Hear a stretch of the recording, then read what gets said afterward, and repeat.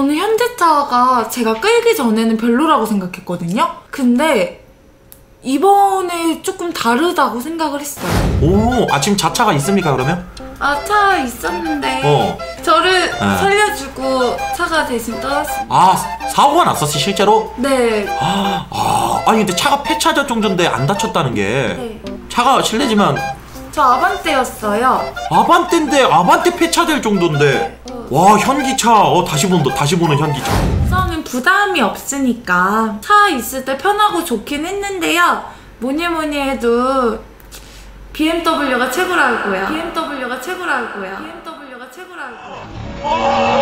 들어가면 큰일 이거는 들어가서 들어가서 전번호에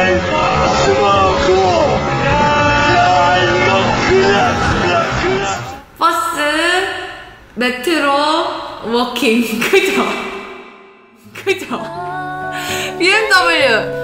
이게 최고예요, 여러분. 그지 않아요? 어, 좀 일찍 나가서 버스에서 어차피 자면 되니까 운전하면 졸음 운전할 수 있잖아요. 저는 그냥 앞으로는 뚜벅이를 살라고요. 저한테는 뚜벅이가 제일 맞는 것 같아요, 여러분. 저는 근데 차를 별로 신경 안 써요.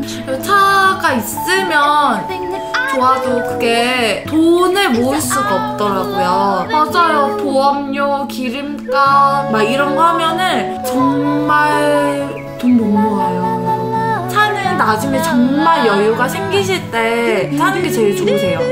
지금은 아닌 것 같아요. 맞아. 버스. 버스 타면은 그런 거 있잖아요. 막, 막 옆자리 하고 내 자리인데 막 내 자리 안 앉으면 어 왜 내 자리 안 앉지? 나, 나 뭔가 되게 나한테 냄새나 이러고 있잖아.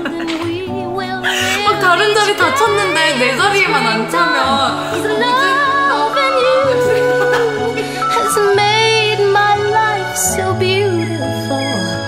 And every day of my life is filled